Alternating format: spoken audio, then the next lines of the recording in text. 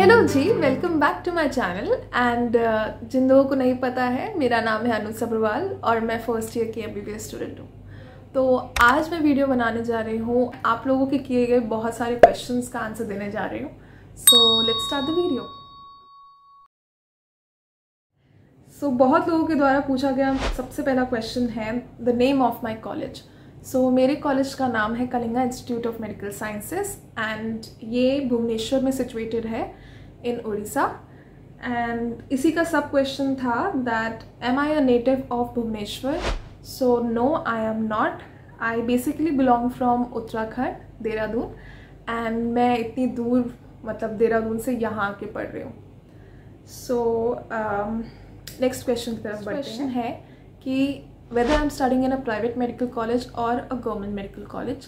So, Kalinga Institute of Medical Sciences is a deemed university and इसकी N R F ranking twenty six है all इस साल की मतलब पिछले साल 30th रैंक पे था जब मैंने एडमिशन लिया था और इस साल रैंकिंग इम्प्रूव होके 26 रैंक हो गई है एंड इसकी नैक ग्रेडिंग की अगर मैं बात करूँ तो ए प्लस प्लस है so this is all about my college Next question is, should I join this college this year for MBBS? Please give honest review. Is it really worth it?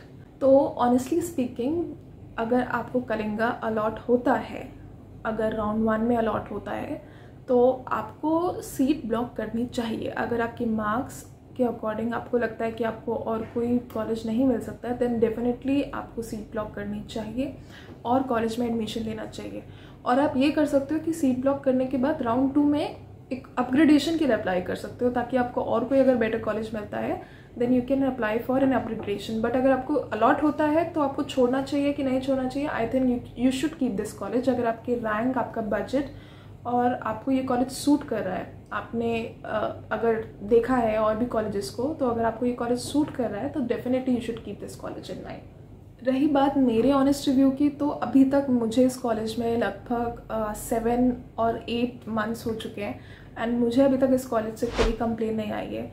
कोई भी किसी भी चीज़ का कंप्लेन नहीं है। जैसे कि हम सुनते हैं कि प्राइवेट मेडिकल कॉलेजेस में आ, वैसे मतलब अलग तरह से मतलब कुछ फ़ीस वगैरह ली जाती है फ़ाइन वगैरह लिया जाता है या जो दिखता है वैसा होता नहीं है।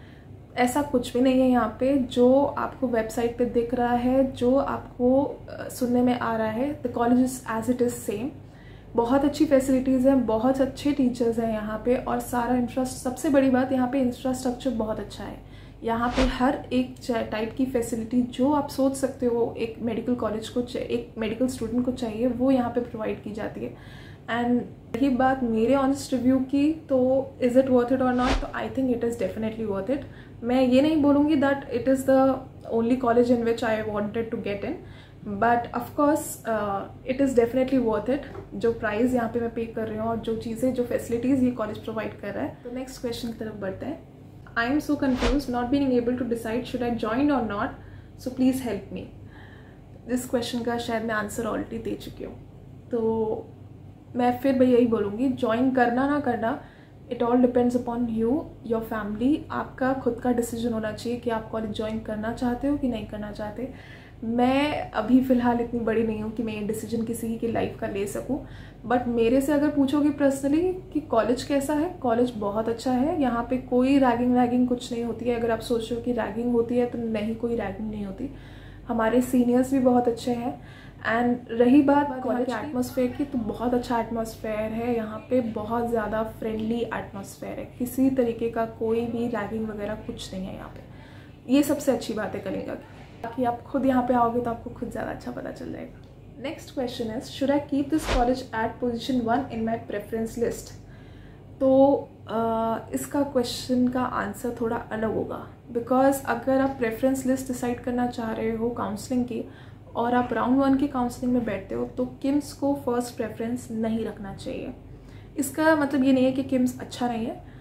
इसका कारण कुछ और है। आ, कारण है बिकॉज़ ऑफ़ बजट क्योंकि किम्स की फ़ीस स्ट्रक्चर को अगर मैं आपको बताऊँ तो किम्स की फ़ीस स्ट्रक्चर में हमारी जो ट्यूशन फ़ी है वो एटीन लाख फिफ्टी थाउज़ेंड है पर ईयर जिसमें आपको हॉस्टल का, अगर आप हॉस्टल लेना चाहते हो, हॉस्टल लेना ना लेना it all depends upon you कोई कंपलसेशन नहीं है कि आपको हॉस्टल चूज़ करना ही पड़ेगा. But if you choose to live in hostel then hostel की फ़ीस है one lakh forty thousand plus mess अलग से, जो कि forty five thousand per year है. मतलब ये पर ईयर का मैं बता रही हूँ. जिसमें आपकी जो ट्यूशन फ़ी है, जो, और जो हॉस्टल की फ़ीस है, वो फिक्स रहती है. बट फोर्टी फाइव थाउज़ेंड जो मेस की फ़ीस है, वो हो सकता है कि वेरी करे. ज़्यादा नहीं मतलब अगर महँगाई वगैरह बढ़ती है, अगर थोड़ा रेट में अप एंड डाउन होता है तो थोड़ा बहुत वेरी कर सकती है, वैसे वेरी नहीं करती है। एंड अगर और एक्स्ट्रा जो फीसेस यहाँ पे ली जाती हैं, वो फ़र्स्ट ईयर में जो ली जाती हैं सिर्फ़, वो है पहली फ़ीस फिफ्टीन थाउज़ेंड जो कि आपकी हॉस्टल एडमिशन फ़ीस है, जो कि वन टाइम आपको मतलब पे करना पड़ता है, वो भी तब आप पे करो कि जब आप हॉस्टल अलॉट करते हो तो।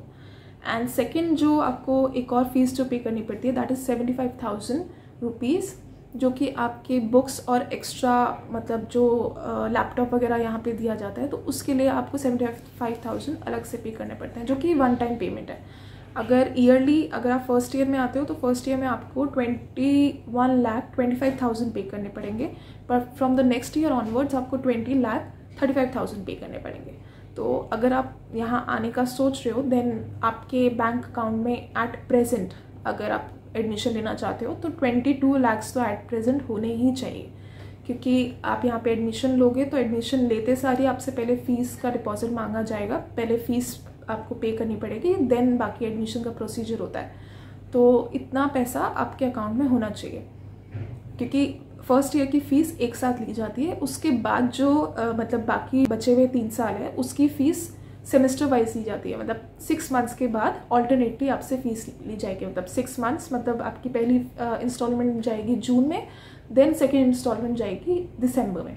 तो हर साल जून और दिसंबर के अराउंड आपसे फ़ीस मांगी जाती है which is around ten point five के अराउंड आपसे लिया जाता है। तो इसीलिए मैं बोल रही हूँ कि आपको किम्स को राउंड वन में फ़र्स्ट प्रेफरेंस पे नहीं रखना चाहिए और ऐसे प्राइवेट मेडिकल अगर आपको प्राइवेट में ही जाना है और और ऐसे प्राइवेट मेडिकल कॉलेजेस हैं, जिनकी फ़ीस किम्स से कम है I think that money matters a lot और और कॉलेजेस आपको ट्राई पहले करना चाहिए। आप किम्स को थर्ड या फोर्थ मतलब चॉइस में रख सकते हो। मैंने भी किम्स को थर्ड चॉइस में थर्ड या फोर्थ चॉइस में रखा था, मुझे जहाँ तक याद है। बट मुझे राउंड वन में किम्स अलॉट हो गया था तो मैंने सीट ले ली थी। सो so, इसलिए आपको प्रेफरेंस लिस्ट में किम्स को फ़र्स्ट चॉइस पे नहीं रखना चाहिए। Next question is tell me more about academics and is there everything good तो अकेडमिक्स बहुत अच्छा है यहाँ पे। यहाँ पे सारे प्रोफेसर्स बहुत ही रेपुटेटेड हैं बहुत ही पुराने और एक्सपीरियंस टीचर्स हैं यहाँ पे जो कि आपको हर टाइम मदद करेंगे आपकी पढ़ाई में। कोई भी डाउट है कैसा भी डाउट है एक बार पूछो चार बार पूछो दस बार पूछो कोई यहाँ मना नहीं करता। अनटे अनलेस आपका खुद का मन ना हो पढ़ने का, क्योंकि कॉलेज ऑफकोर्स ये कॉलेज है और यहाँ पे seat intake two fifty students की है।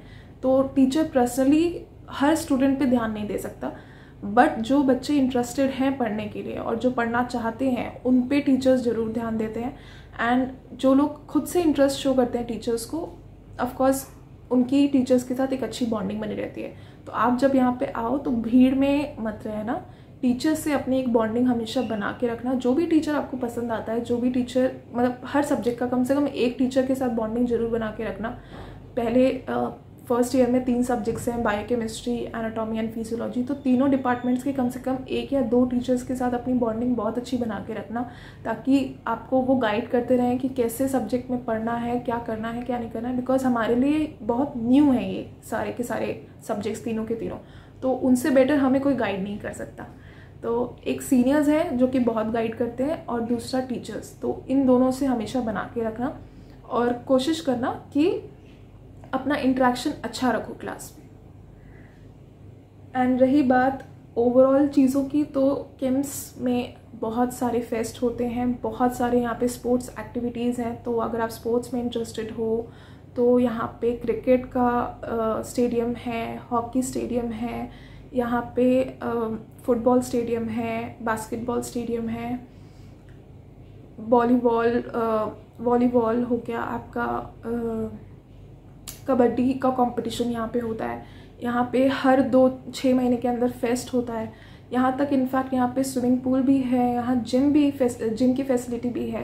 तो ओवरऑल अकेडमिक्स के अलावा एक्स्ट्रा करिकुलर एक्टिविटीज़ में भी किम्स बहुत आगे है। Next question is I am from which batch तो मैं 2022 मतलब 2022 बैच की फ़र्स्ट ईयर की स्टूडेंट हूँ at KIMS so the last question is your college is associated with which university and hospital so my college is associated with KIIT university and जिसके साथ associated जो hospital है, उसका नाम है प्रदमिना बाल मेमोरियल हॉस्पिटल एंड यहाँ पे सुपर स्पेशलिटी हॉस्पिटल भी है। And in the end of this video अगर आपके और कोई क्वेश्चंस बाकी रह गए हैं जिनको मैंने आंसर नहीं किया हो तो you can definitely comment it down below and I would definitely try to answer your question अभी तो फ़िलहाल मेरे एग्ज़ाम्स आने वाले हैं कुछ uh, दिनों के अंदर तो मैं थोड़ा बिज़ी हूँ. बट जब भी मुझे टाइम लगेगा मैं आपके क्वेश्चंस का आंसर ज़रूर करूँगी. एंड आई होप आप मेरे आंसर से सेटिस्फाइड होंगे. एंड अगर आप ये वीडियो यहाँ तक देख रहे हैं then definitely hit that like button and do subscribe to my channel for more such videos then bye bye take care